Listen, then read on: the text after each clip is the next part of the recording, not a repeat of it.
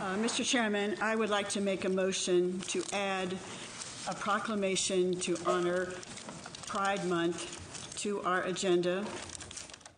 That request at last night's Mecklenburg County Board of Commissioners meeting set off a tense 20 minute discussion that got pretty intense at times. In the end, the county did not issue a proclamation supporting Pride Month, and Mary Calkins is live this morning. Mary, you listened into that meeting. Walk us through exactly what played out here. Well, Alex Mary, it was uncomfortable at times to watch and listen to commissioners as they had this discussion. Now, what it came down to in the end, according to Chairman George Dunlap, was following rules and procedures. Now, according to county rules, items can be added to the agenda by 4 p.m. 11 business days before a regular business meeting. Now, there's a second deadline for commissioners, which is seven days in advance. And after those pass, the chairman must approve any late items. Well, according to Dunlap, Commissioner Pat Cotham asked the county clerk last Friday to add the proclamation to the agenda. After the clerk contacted Dunlap, he rejected it, citing those rules. And that brings us to last night. If all nine commissioners agree, an item can be added, which is what Cotham did, and that set off a series of testy exchanges.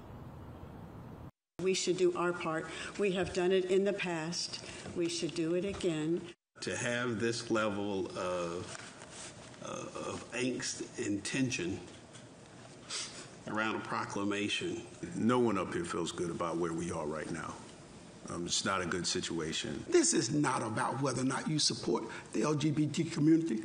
It is about whether or not you follow process. I feel like the chairman is being villainized, and it really troubles me.